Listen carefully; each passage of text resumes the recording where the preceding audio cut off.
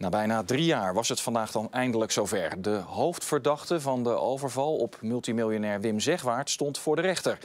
Reda N. ontkent dat hij bij die overval is geweest, maar hij heeft volgens het Openbaar Ministerie ook nog meer op zijn geweten.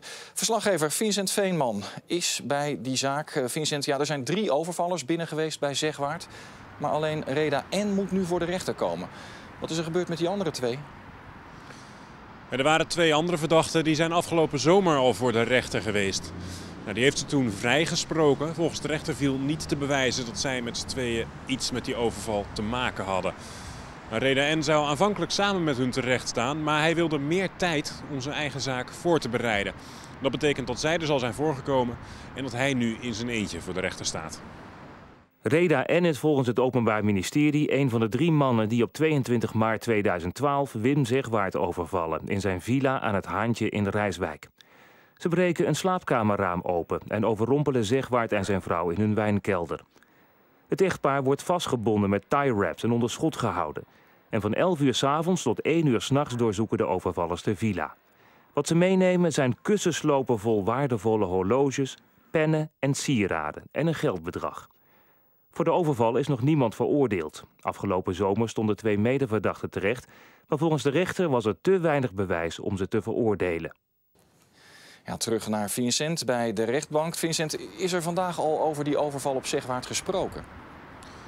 Nee, nog niet. Eh, zoals gezegd, hij wordt van meerdere dingen verdacht. Volgens de OM heeft hij na de overval op Wim Zegwaard ook nog een overval gepleegd in Honselensdijk en één in Rotterdam. Nou, die laatste die is vandaag aan de orde geweest. De verwachting is dat morgen aan het eind van de dag pas voor het eerst gesproken gaat worden over de overval op Zegwaard. Misschien zelfs woensdag pas. Het is ook een megazitting. Zeven dagen gaat het duren. Deze eerste vier dagen voor de inhoudelijke behandelingen. Waarschijnlijk gaat de officier van justitie vrijdag zeggen wat ze van de zaak vindt.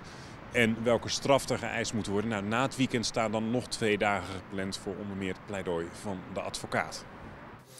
En hoe liep het vandaag? Reda begon de dag vandaag met te zeggen dat hij in deze zaak, die Rotterdamse overval, zoveel mogelijk, zoals hij dat zei, wil gaan vertellen. Nou, in de praktijk kwam het erop neer dat hij zich regelmatig toch ook op zijn zwijgrecht beriep.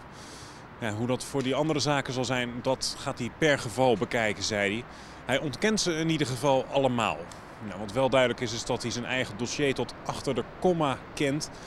Hij overlegt regelmatig met zijn advocaat, wijst ook op bepaalde punten als het volgens hem niet klopt, tot in detail ook. Dus ga er maar vanuit dat het de komende dagen allemaal grondig besproken gaat worden. Vincent Veeman bij de rechtbank in Den Haag. Dankjewel Vincent. Flinke commotie dit weekend in de Linnaeusstraat in Den Haag. Koolmonoxide werd een gezin bijna fataal. En juist vandaag start een landelijke campagne om mensen te waarschuwen voor de gevaren van koolmonoxide. En dat is hard nodig ook, zegt Monique Franke uit Naaldwijk. Ze werd in december vorig jaar bijna slachtoffer van koolmonoxidevergiftiging.